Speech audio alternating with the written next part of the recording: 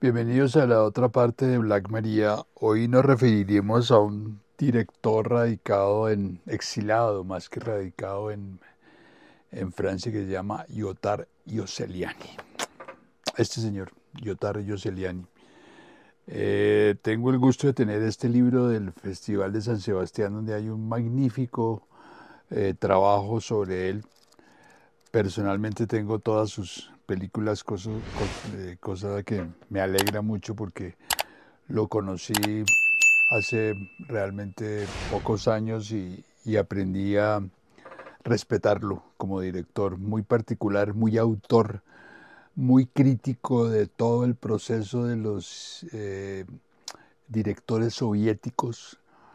Eh, obviamente durante un periodo de perestroika, antes de la perestroika, en la situación en que los países, eh, los estados, mejor, las naciones soviéticas de la gran Unión Soviética tenían una especie de control por encima de, ellos impresionante.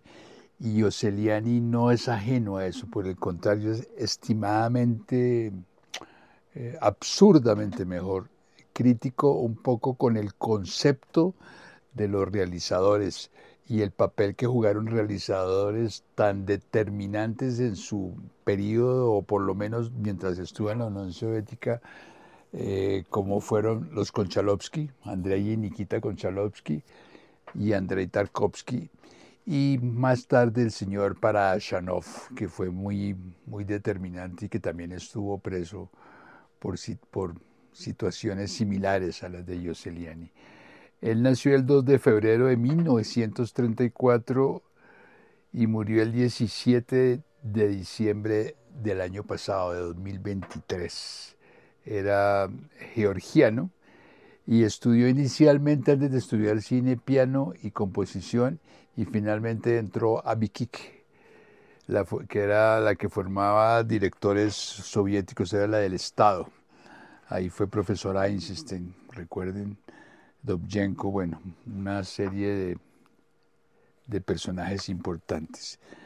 En este libro tiene una excelente eh, referencia sobre cuál era la, estética que imprimía o definía, determinaba, justificaba el Estado soviético. Entonces le, preguntan, ¿usted frecuentó en Moscú la Vikik, Instituto Estatal Pansoviético de la Cinematografía con sede en Moscú, en el que se formaron casi todos los cineastas soviéticos más importantes? Grandes teóricos y pioneros como Sergei Einstein, eh, y Kulechov fueron profesores de esta escuela. ¿Sí?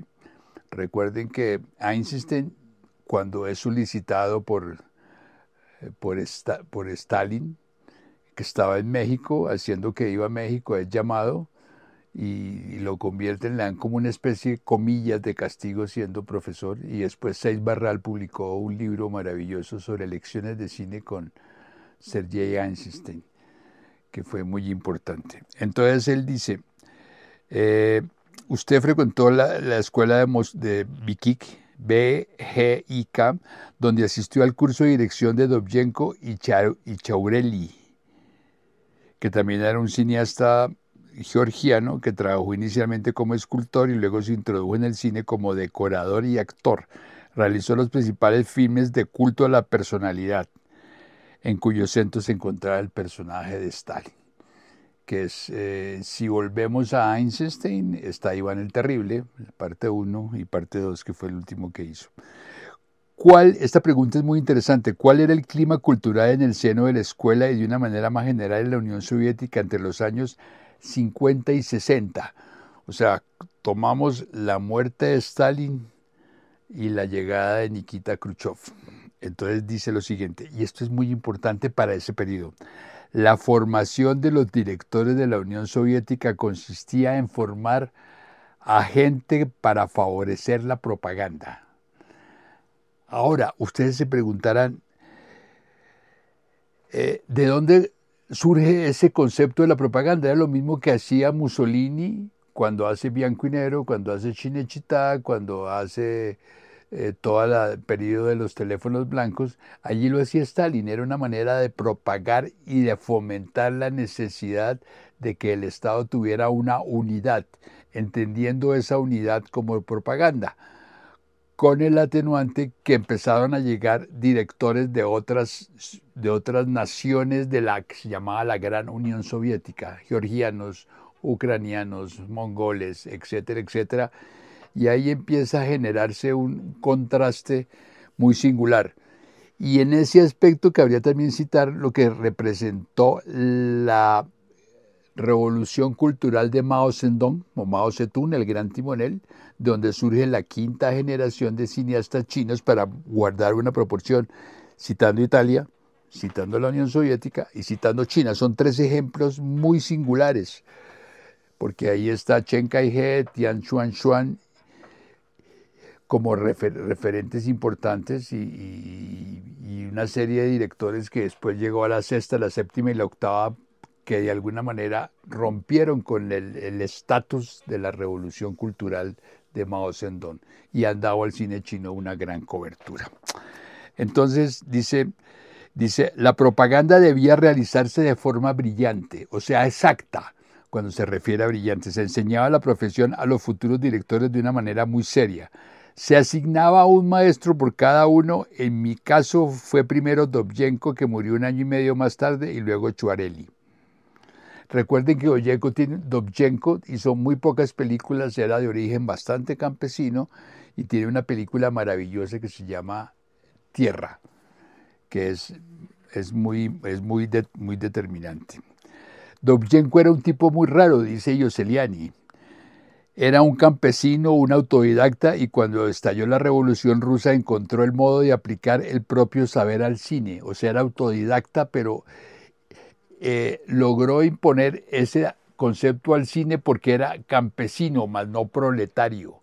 Era un campesino pobre, pero no era el obrero, el proletario, y eso hay que hacer una diferencia como muchos románticos de la época de la Revolución, pensaba que el mundo iba a cambiar de un día para otro. Puso todo su talento, su amor por los campesinos y por su pequeño país de Ucrania al servicio de la ideología bolchevique que ejercía un gran atractivo entre los jóvenes.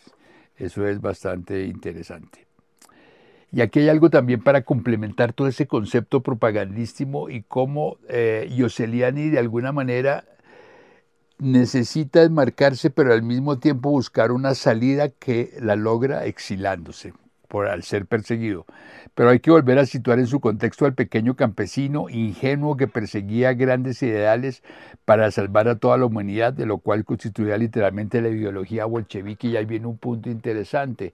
Cuando se acaba el periodo de la vanguardia soviética, donde hace Einstein la corazada de Potenkin, por citar algo, hace Kuleshov hace todas estas películas, La Madre, Mr. West en el País de los Bolcheviques, etcétera, etcétera, Siga versus el hombre de la cámara, viene lo que se llama la mecanización por parte de, Stalin. Cambia el asadón por los tractores. Entonces viene el realismo socialista en el sentido que hay que industrializarlo. Entonces los campesinos tienen, tienen que tomar otra objetividad. Otra objetividad entendido la objetividad como otro, otro, otro objetivo frente a todo lo que, lo que se hace. Y aquí va a aparecer un personaje interesante, que es Mayakovsky, y le preguntan, ¿en ese momento apoyaba Dobjenko al régimen? Y decía, decía Yoseliani, totalmente, pero lo hacía, por ejemplo, como Mayakovsky. Dobjenko los revió, era un ingenuo, nunca hacía un análisis profundo de la situación, igual que Mayakovsky había otros artistas comprometidos en la propaganda que elogiaban el sistema totalitario, entre ellos Einstein, que de alguna manera Iván el Terrible era una forma de hablar de Stalin. El acorazado de Potenkin, lo viejo y lo nuevo, octubre, etcétera, etcétera. Estos sabían lo que hacían, pertenecían a una intelectualidad conocida que podía valorar de dónde provenía todo esto y lo que lo representaba subrayando este aspecto ideológico, separándolo de la profesión de cineastas para decir que la profesión de cineastas es aplicable a cualquier ideología. Ese dato es interesante. La profesión de cineasta es aplicable a cualquier ideología. Estar de parte del bien contra el mal ha sido considerado un acto noble. El mal era el fascismo y no el comunismo. Al mismo tiempo no es posible que Obyemko ignorara que había gulags para por todas partes. Se llevaban a cabo arrestos entre los intelectuales, se eliminaban a grandes escritores, que es un periodo vital en el cual Stalin eliminó muchos eh, escritores, muchos teatreros, entre esos Meyerhold, el gran director de teatro donde se aplicó recién empezada la revolución Eisenstein y que finalmente lo terminó eh, matando, eh, que es un periodo bastante cruel del cine soviético y de toda la historia soviética, sobre todo con los, eh, sobre todo con, con, los, con los directores de cine. Ahora, hay algo interesante en relación a, a, a en la, en, la forma como aplicó su, su sentido particular. Eh, siempre estuvo en contra de lo que se determinó en la sociedad y en todas sus películas, tratando de hacer una forma muy personal y paisajística e irónica. Y hay un elemento que marcó todo el proceso revolucionario que Einstein de alguna manera lo adecuó a su manera, que se llamó el efecto Kuleshov, el de Lev Kuleshov. Y aquí dice, durante la realización de un cortometraje, Efecto Kuleshov tuvo la ocasión de encontrarse con Kuleshov. ¿Qué le ha quedado esa experiencia? O sea, él hace una parodia de lo que le habían enseñado en la universidad. No sé, no sé nada del efecto Kuleshov. ¿Qué es? No lo conozco. No he hecho nunca una película que se llame Efecto Kuleshov. Tal vez me le cambiaron el nombre. Conocí a Kuleshov muy superficialmente. Es más conocido, él más conocía a su mujer Alexandra Cholova después de su muerte. Y aquí dice algo. Me enviaron a trabajar con Kuleshov como asistente, el nombre de toda clase para que le preguntaran si quería venir a enseñarnos a nuestra clase, a la clase de los alumnos de, en que él estudió pero enfadó y dijo, ¿queréis que me muera también yo? Es todo lo que sé sobre Kulechov. la, disposición de, de sobre la vida es tan, eh, es, tan absurda. Hizo una gran película que para mí es de las mejores que se llama Los favoritos de la luna, donde de alguna manera es capaz de reencontrar eh, algo que en este libro citan como la arquitectura de la forma entendiendo algo muy interesante. Una cosa es cómo se concibe la forma y otra es cómo se vuelve ideológica esa forma. ¿Cómo se puede ideologizar la forma? Con ciertos símbolos, con ciertos colores y con ciertos atenuantes en la forma de hablar. Aquí le dicen, pero usted realizó películas francesas gracias a las coproducciones. Y entonces dice, algo que es interesante. La censura en Occidente, o sea, el país que no es comunista, es como todas las censuras, obliga a que mis colegas obedezcan ciertas reglas, o sea, toda censura lleva una regla, sea comunista, sea capitalista, sea, sea religiosa. La primera regla es la cuestión de la recaudación, o sea, el dinero. en el occidente la recaudación es para el inversionista, en la Unión Soviética era para el Estado ligada inevitablemente a la previsión de los deseos del público. Esos deseos del público eran los que permitían que el dinero flotara o no flotara. Esto es muy importante. No se puede decir que se trate de una censura ideológica. Los productores europeos, por no hablar de los americanos, aborrecen las ideologías porque les interesa más la plata.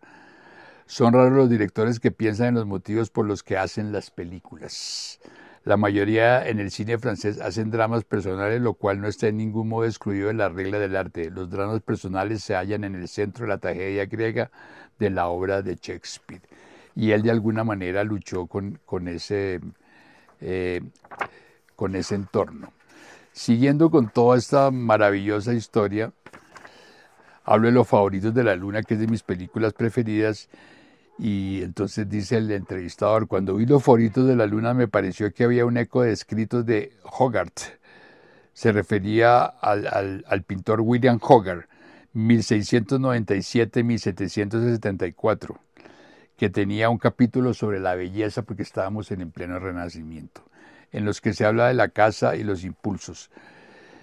Él habla de la persecución de la forma como objeto, o sea, los personajes para Yoseliani estaban marcados por el concepto de, la forma, no cómo actuaban, sino se, cómo se concebían en el espacio, en el espacio del encuadre. Y eso fue lo que caracterizó toda la obra de Rioseliani. Por eso él habla de la creación de un modelo. Si hablamos en el cine de creación de modelos, no habría, tendríamos que citar a dos grandes directores, Yotaro Celiani desde lo ideológico y Robert Bresson desde lo teatral. Ya lo habíamos hablado cuando citamos las, las, las Juanas de Arcos. Y entonces dice, la profesión más auténtica y más antigua del mundo es el alfarero. De hecho, el alfarero crea un jarrón, pero más que nada crea un recipiente destinado a usos diferentes. Un depósito de agua a partir del cual se obtendrán depósitos de todo tipo. En resumidas cuentas, crea un modelo. La creación de un modelo es la base de toda profesión. Y le dice al, entrevistado, ¿usted cree que la profesión tiene forma o tiene ideología? Eso decía Yoseliani. Y ya para terminar, que es un director bastante complicado, habla sobre la interpretación. Y ahí vuelve otra vez a acercarse a Bresson rápidamente. Como sabéis, es un oficio muy antiguo el ser actor. Para todos nosotros somos actores e intérpretes de papeles. En cada familia los papeles están bien distribuidos y cada uno interpreta el suyo. La existencia de la mentira en las relaciones entre los seres humanos es la base de toda profesión. La mentira es un modelo, la ideología es un modelo, es el cine un modelo, es un cine la tendencia. Toda ideología marca un movimiento de plano, un movimiento de cámara. Toda posición de cámara es una propuesta ideológica, lo decía Rocha y se lo robó Godard.